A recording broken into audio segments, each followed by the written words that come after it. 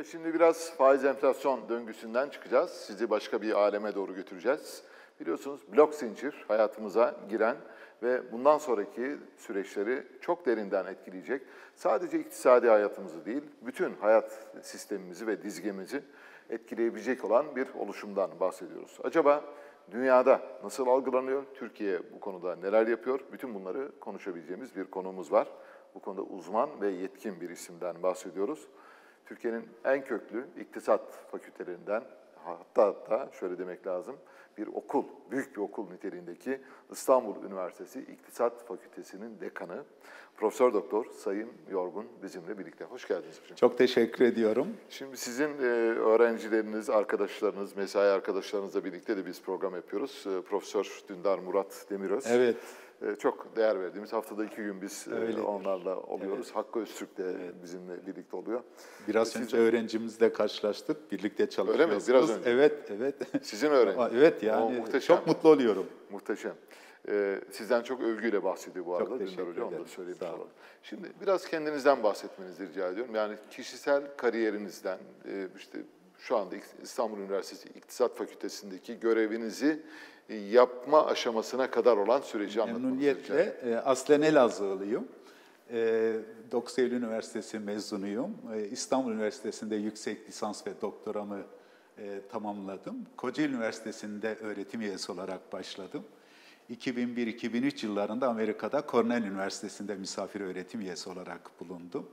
2011 yılında Londra'da, e, Londra Üniversitesi'nde misafir araştırmacı olarak bulundum.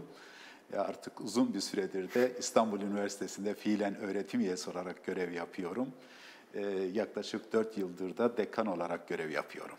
Dekanlıkta görev e, kaç yıl sürebiliyor? 3 yıl sürüyor, bu ikinci dönemi İkinci başladı dönem. evet. Üçüncü kez olmuyor ama değil mi? Yok, hayır. İki- iki kez. dönem yetiyor Şimdi siz, bence. e, ikinci dönemin başındasınız. Evet, Evet. evet. Peki. Evet. Şimdi bize kripto piyasası ile ilgili e, neler söyleyebilirsiniz? Yani tü- e, blok zincir piyasası ile ilgili.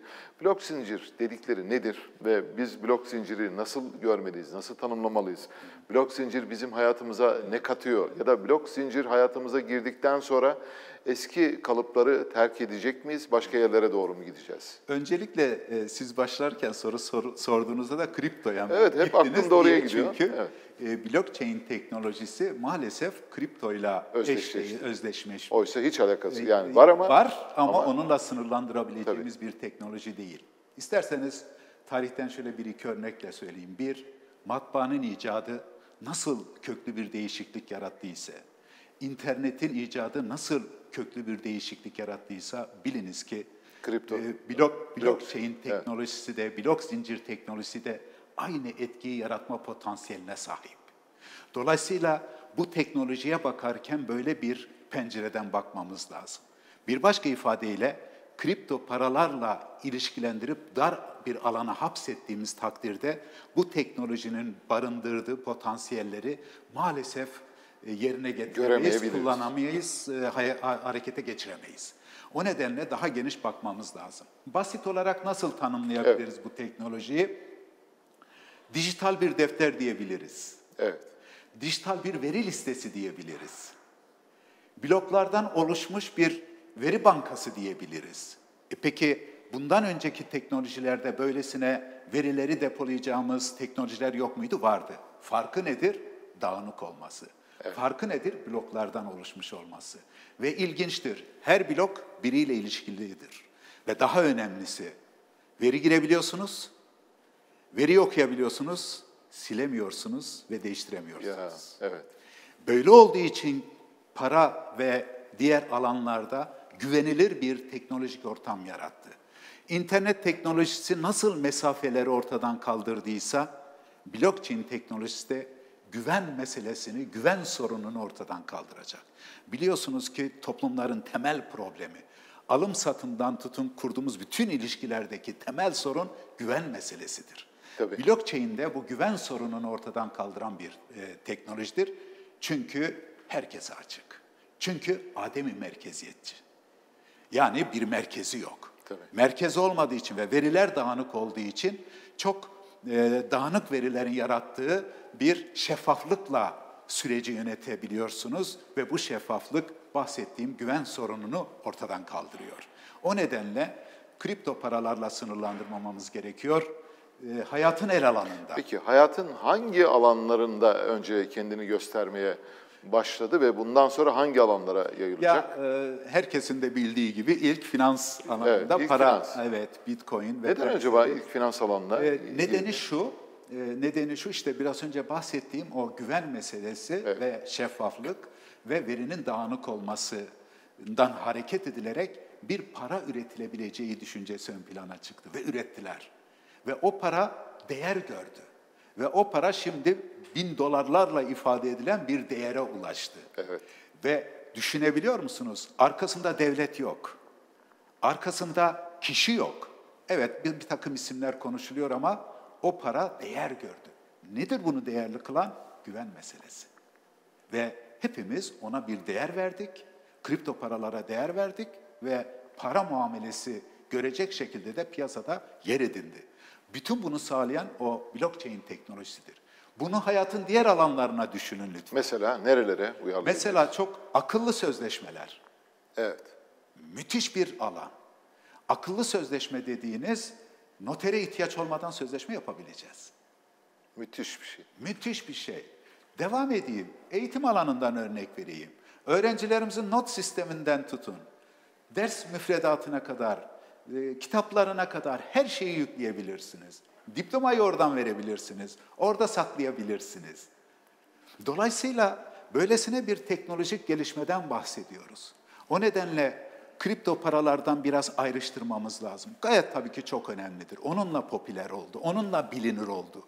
Ama şunu unutmayalım, ekonomik hayattan sosyal hayata, sosyal hayattan siyasal hayata, demokrasiden siyasete kadar her alanı etkileyecek bir teknolojiyle karşı karşıyayız.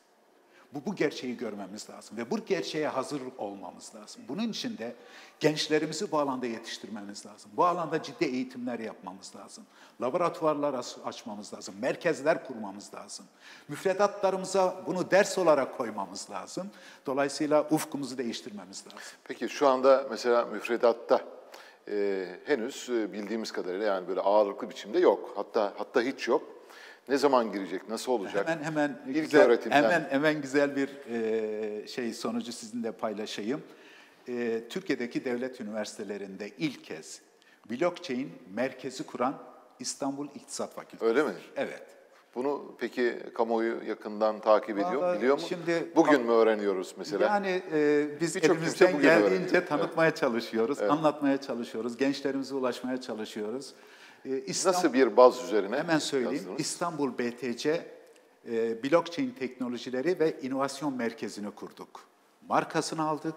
İstanbul Üniversitesi e, İktisat Fakültesi'nin bir laboratuvarıdır. Üç laboratuvardan oluşuyor.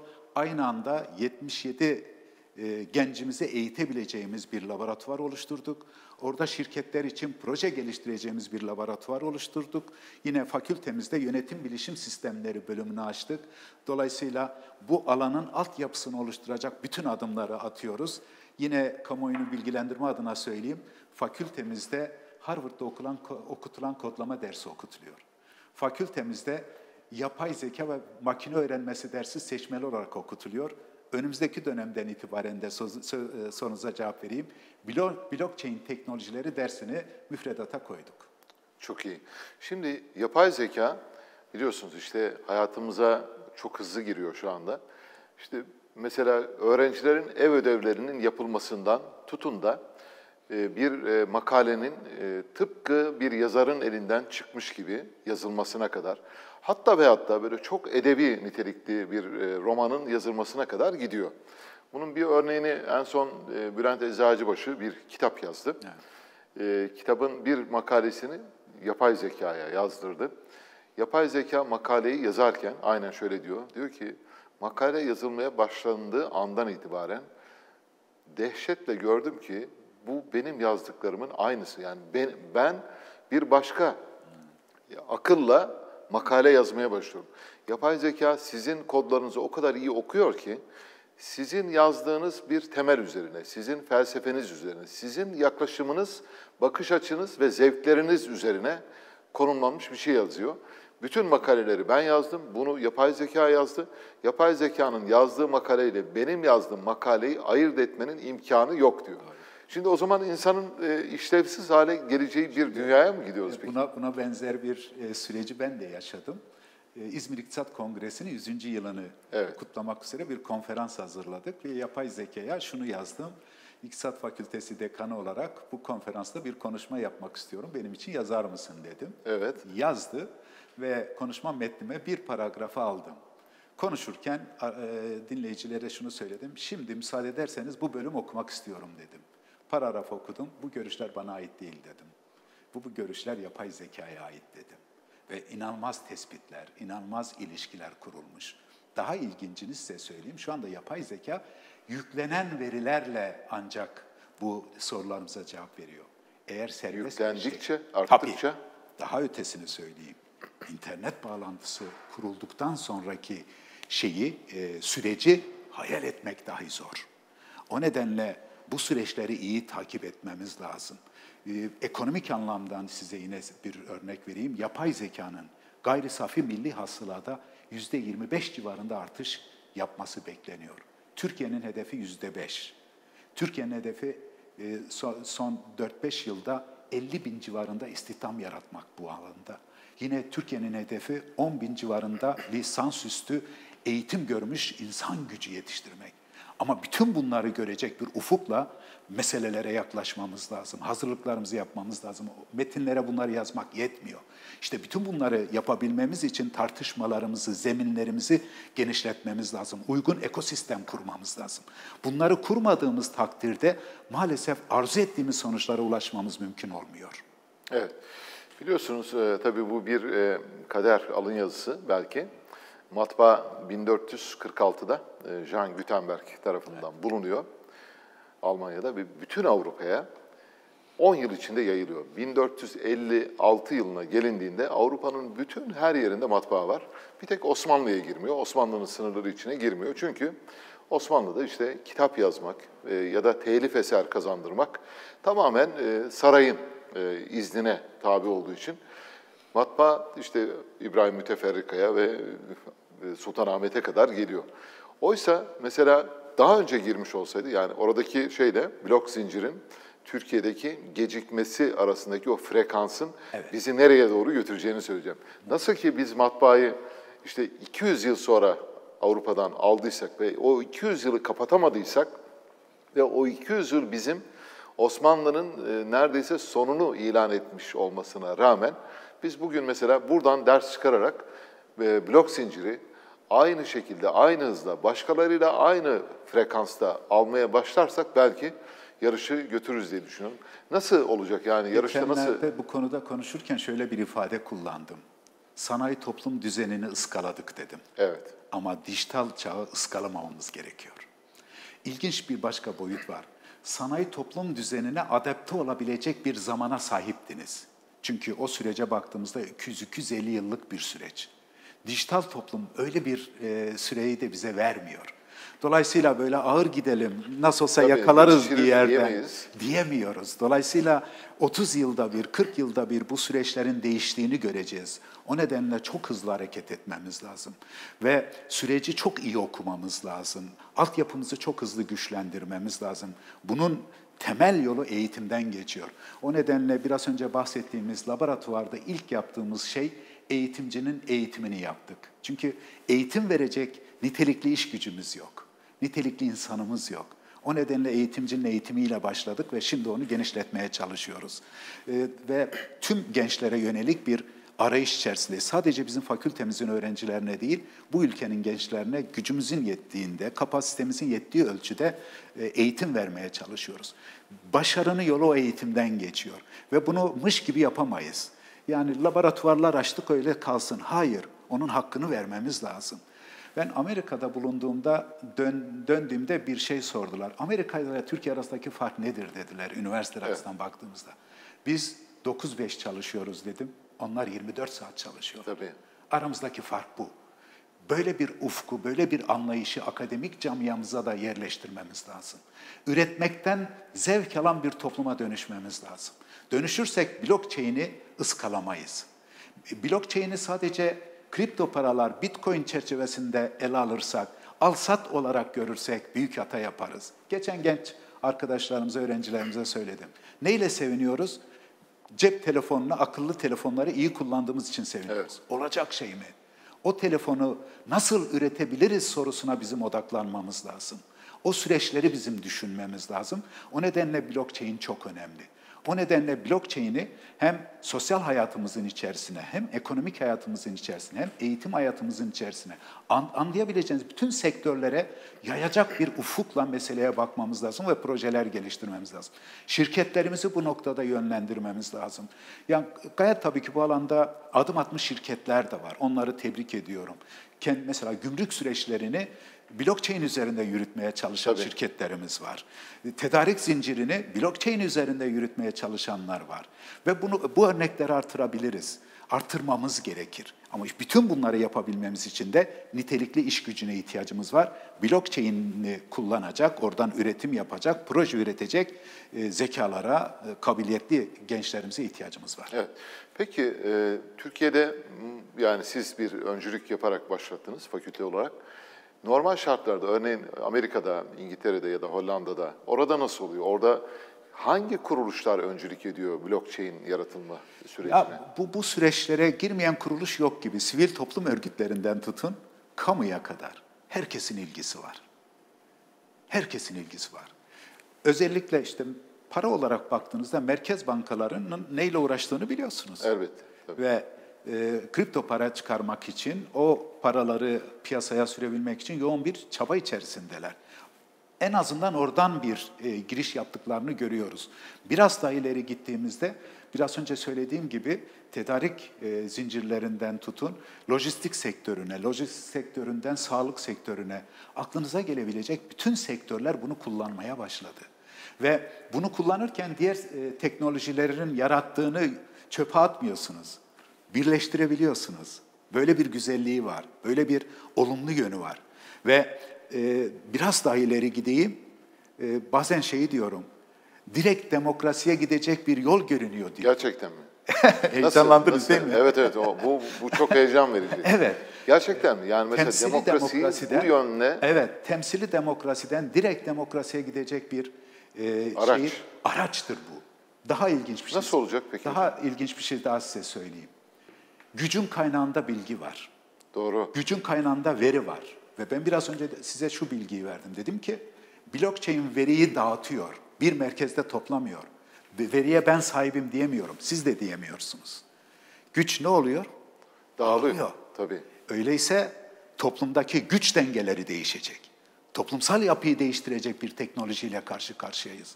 Sını- Sınıflar kendisini farklı düşünen, bilgiyi kendisine almış, hapsetmiş, onunla her türlü pazarlığı yapanların, sömürenlerin düzeni değişecek. Çok net söylüyorum. Ama bütün bunları yap, bütün bunları yapabilmek için ve bütün bunların yapılabilmesi için bu teknolojinin olumlu bir bakışla, olumlu bir gözle kullanılması lazım. Bütün bunları yap- yapabilmek için de insan gücü temel faktör. Çünkü bugüne kadar teknoloji bizim fiziki gücümüzü ikame ediyordu. Evet. İlk kez teknoloji gücü hem fikri gücümüzü hem de duygusal gücümüzü ikame edecek bir yere doğru gidiyor. Bu gerçeği görmemiz lazım. Bu gerçekten hareket etmemiz lazım. Bu ufukla blockchain'e bakmamız lazım. En heyecan verici yanı bu biliyor musunuz hocam? Yani şu ana kadar mesela ben hani başka bir şeyle karşı karşıya olduğumuzu şimdi şu son söylediğinizden anladım. Demokrasiyi, doğrudan demokrasiyi kuracak bir araç Evet. haline geliyor. Bu böyle bir post Orwellian bir teoriye aynı zamanda beraber. Biliyorsunuz Orwell'in teorisinde işte her şeyin bir merkez tarafından kontrol edildiği, herkesin hayatına e, girildiği, herkesin hayatının bir şekilde tasallut altında tutulduğu bir dünyadan bahsediyoruz. Şimdi o dünyadan yani blockchain sayesinde o dünyadan çıkma fırsatı var. Aynen öyle. Peki bu o dünyadan çıkma fırsatını birileri engelleyebilir mi acaba? Şimdi e, eğer e, eğer bu teknolojileri kullanabilir, bu teknolojileri hayatın her alanına yayabilirsek, Yayabilirsek. olabilir. Ben size bir e, örnek vereyim. Bugün sabah e, Yüksek Seçim Kurulu e, e, seçim Dijital seçime dijital seçimi Evet. gündeme getirdi. İşte size imkan. Blockchain ile bunu yapabilecek potansiyele sahibiz. Biraz da ileri gideyim. Mevcut hocalarımızla bunun altyapısını kuracak yapıya e, hazırız. Biz yapabiliriz. Yani dijital seçim sistemini biz Evet. yapabilecek durumdayız diyorsun. Şu anda yapabilecek pozisyondayız. Öyle bir altyapımız var. Şeyde bir hocamız bana mesaj attı.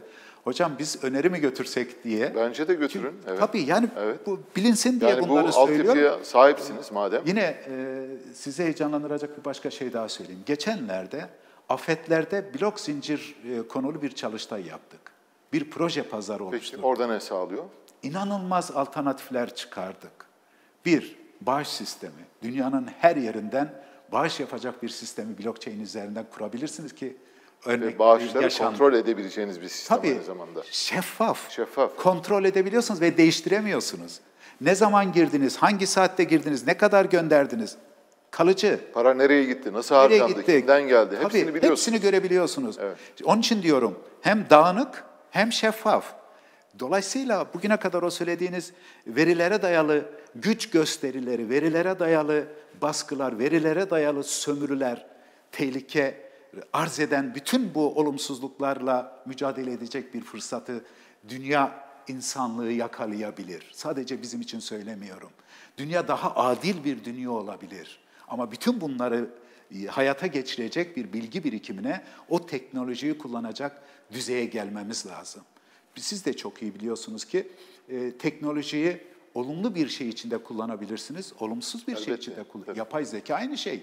Yapay zekayı olumlu şey içinde kullanabilirsiniz. Zaten şu anda da. mesela ondan büyük endişe duyuluyor. Yani yapay zekanın insan hayatını kontrol altına aldıktan sonra bunun cenderesinden çıkamayacağımızı düşünenler var. Bu yüzden de mesela başta Bill Gates olmak üzere pek çok kimse buna kafa yoruyor. Acaba yapay zekanın olumsuz ve negatif kullanımına nasıl engel olabiliriz? Bu yapılabilir mi hocam? Yani- Yapılabilir. Niye? Çünkü e, örnekleri var. İşte Tabii. atomu icat ettik, değil mi? Tabii kötü amaçlı da kullanabilirsiniz. Evet ama kurallar... nükleer enerji Evet, tabii. evet. Dolayısıyla bunların kuralları bulunacak. Şimdi bazen bana şunu da söylüyorlar. İşte insansız fabrikalardan bahsediyoruz. Efendim e, şeyin e, üretimin karanlık fabrikalardan yapılacağından bahsediyoruz ki yapılıyor. Yapılıyor. Hiç itirazım yok. Ben şu soruyu soruyorum. Orada üretenleri kime satacaksınız? Ya tabii. O arz talep dengesini kurmadığınız zaman yorumlarınız yanlış bir yere doğru gider. E, arzu edilemeyen bir yere do- doğru gider. Dolayısıyla hayatın sürdürülebilirliği üzerine düşünmemiz lazım. İşte konuşuluyor istihdamın olmadığı çağ, çalışmanın bittiği çağ. Hayır, Hayır öyle bir şey yok. öyle bir şey yok. Bağımlı çalışmanın değiştiği bir çağ. Bağımlı çalışmaya ihtiyacın azaldığı koyalım. bir çağ. Tabii. Ya o nedenle ben kavramlar üzerine e, düşünmemiz gerektiğini düşünüyorum. Kavramlara doğru anlamlar yüklememiz gerektiğini düşünüyorum. Çünkü kavramlarla düşünüyoruz ve kavramlarla ifade ediyoruz. Eğer kavramları doğru ifade etmezsek, içini doğru doldurmazsak yanlış şeyler söyleriz. Derste bazen şunu söylüyorum. Demokrasi kavramını açıklayın diyorum. Laiklik kavramını açıklayın diyorum. Evet. Şimdi bunları doğru açıklarsak, içini doldurursak Zaten sorun, sorun kalmayacak. kalmaz. Evet. Yine mesela e, belki sizi heyecanlandıracak bir başka şey söyleyeyim. Bu akıllı sözleşmelerle Evet. çatışma, toplumsal çatışmaları, kişisel çatışmaları Önleyebiliriz. azaltabiliriz. Tabii. Çok böyle direkt önleriz, e, bi- biraz çok iddialı olur ama azaltabiliriz. Örneğin Rusya ile Ukrayna arasındaki bu savaş için bir e, akıllı sözleşme yazılabilir mi bu saatten sonra? E, yazılabilir, e, yazılabilir ve bir konsensustur bu. Şimdi neticede o blockchain'i de, yapay zekayı da yapan bizleriz. Tabii. Ne yüklediğimiz çok önemli. Yüklediğimiz de sahip olduğumuz verilerle sınırlıdır. O verilerle onu yüklüyoruz. Dolayısıyla bizim verilerimiz e, yükseldikçe oraya yüklemeler artacaktır. Bazen öğrenciler şunu diyor, hocam diyor artık yabancı dil öğrenmemize gerek yok. Hayır var diyor. Hayır, var. Var diyorum. Tabii. O blockchain'e, o yabancı dili biz yüklüyoruz. Tabii. O nedenle e, meseleye daha farklı bir pencereden bakmak lazım ve bu bakışımızı da derinleştirmemiz lazım. Dar koridorlara hapsetmememiz lazım. Harika. Hocam vallahi çok zihin açıcı bir konuşma yaptık. Ee, Eyvallah. özellikle o son bölümde demokrasi, doğrudan demokrasi deyince ben orada başka bir dünyaya Niye doğru geçtiğimizi musunuz? düşündüm. Evet. Nedeni biliyor Neden? musunuz? siyasetin dar koridoruna hapsolduğumuz için. Aynen öyle. Evet. Buradan çıkmamız lazım. Kesinlikle. Çok teşekkür ederim. teşekkür Kalkmayın lütfen. Profesör Doktor Sayım Yorgun'la konuştuk. İstanbul Üniversitesi İktisat Fakültesi Dekanı. Blockchain'i konuştuk ve blockchain'in hayatımıza neler getirebileceğini, blockchain'in hayatımıza pozitif getiriler sunabilmesi için nasıl kullanılması gerektiğini konuştuk. Elbette doğrudan demokrasiyi kurmanın aracı aynı zamanda blockchain olabilir diyor. Şimdi çok kısa bir ara.